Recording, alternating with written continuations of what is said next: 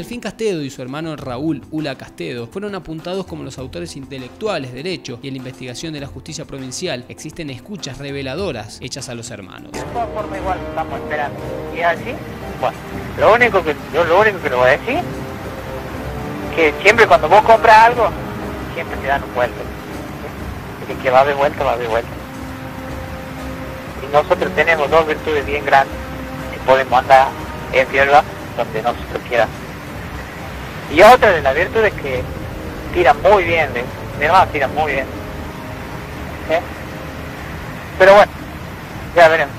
Si creen, digo, esta boluda empieza a hablar, yo sé que hay cada esto, yo sé que hay cada aquello, sé que esta habla así, pero bueno, yo te voy a decir una. Yo sé por dónde pasa el petizo, a qué hora va, yo sé que, a las 7 de la mañana sale, sale la otra conchudota, sale por tal lado, está acostumbrada a boconear, a decir esto.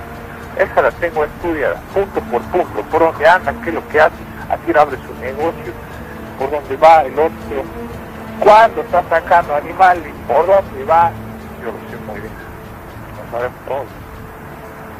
Yo me organizo de esta, de esta, de esta forma, y se acaba la familia. Ellos quieren bronca, van a tener bronca. A no llorar, a no llorar. Así le he hecho, a no llorar.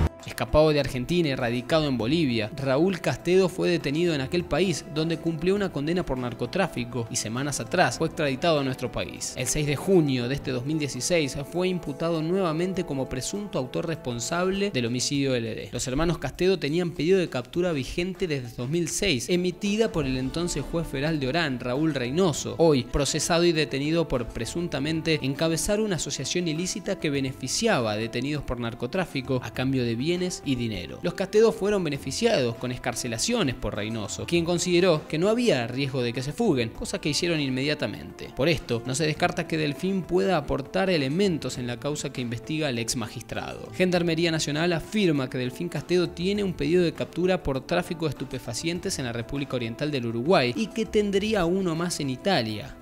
El 12 de octubre del año 2005, el diario italiano Il Giornale publicó un artículo titulado Milán e Ibiza, Capolinia de la cocaína VIP, en el cual se señalaba que Reinaldo Delfín Castedo integraba e incluso dirigía el poderoso cartel de Lozano, referente de la droga en el viejo continente. Sucede que Castedo estaría vinculado a la causa Carbón Blanco, que concluyó con fuertes condenas a los implicados, el abogado Carlos Salvatore y al expresidente del Club Real Arroyo Seco de Rosario, provincia de Santa Fe, Patricio Gorosito, quienes exportaban cocaína en carbón vegetal con destino a Portugal y España. Y justamente Reinaldo Castedo sería quien les proveía la cocaína.